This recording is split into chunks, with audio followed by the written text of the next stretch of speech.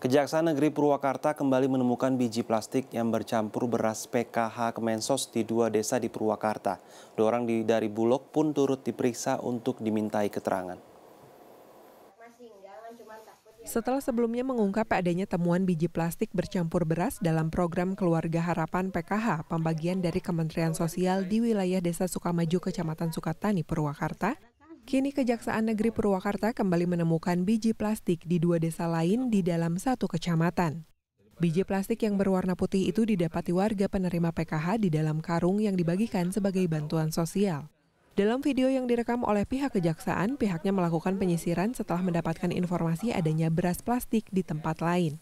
Sebagai barang bukti, sebagian beras bercampur plastik itu diamankan pihak kejaksaan serta melakukan pemeriksaan terhadap dua orang dari pihak Bulog kemarin ditemukan kemarin lagi ditemukan. Jadi dua hari ini ditemu, sudah ditemukan ada Berapa tiga, tiga.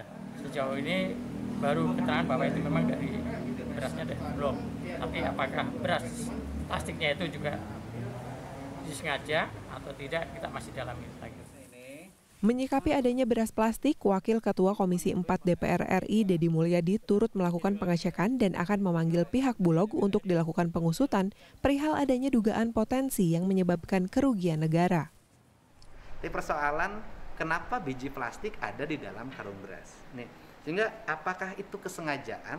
Itu misalnya ada pembelian barang, kemudian barangnya diisi biji plastik untuk menambah timbangan sehingga mendapat keuntungan besar atau ada pihak lain yang sengaja memasukkan itu. Yaitu silahkan aja diusut sampai tuntas sehingga masalah ini bukan hanya masalah beras ini masalah kesehatan manusia juga. Beras PKH ini dibagikan kepada masyarakat penerima sebagai bantuan sosial. Setiap penerima PKH mendapatkan beras sebanyak 30 kg yang dikemas dalam dua karung. Dian Firwansyah, Purwakarta